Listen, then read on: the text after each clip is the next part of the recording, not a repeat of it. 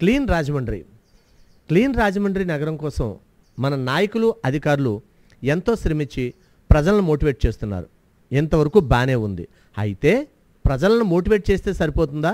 గుట్టలు గుట్టలుగా ఉన్న పడి ఉన్న చెత్తను అక్కడి నుంచి తొలగేస్తే వాళ్ళ లక్ష్యం నెరవేరుతుందా అనేది ఒక్కసారి ఆలోచించుకుందాం. ఇక విషయానికి వచ్చినట్టయితే రంభా ఉర్వశి డౌన్ అంటే భారత బొమ్మలోకి సుమారుగా ఎదురుగా నెలల తరబడి చాలా పెద్ద చెత్తగుట్ట అక్కడే ఉంది. కానీ మన అధికారులకు ఎక్కడా కనిపించట్లేదు. మీరు ఒక్కసారి అది గమనించినట్టయితే రోడ్డుపైకి ఆ చెత్తగుట్ట పెరుగుతూ వస్తుంది. గతంలో ఇదే విషయాన్ని మేము ప్రస్తావించాం.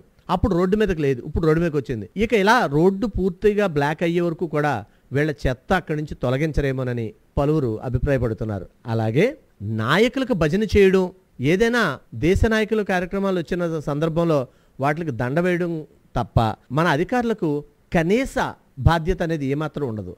అది ఎక్కడంటారా? కోటిపల్లి బస్ స్టాండ్లోని స్వతంత్ర సమరయోధుల పార్క్. ఇది చాలా అద్భుతమైన పార్కు. ఈ పార్కు దుస్థితి మీరు మనం చూస్తే ఔరా అని ముక్కున వేలేసుకోవాల్సిందే. ఒక్కసారి మీరే చూడండి. ఎంత చెత్త ఉందో. అదేను ప్రధాన ముఖద్వారానికి ఎదురుగానే ఉండడం.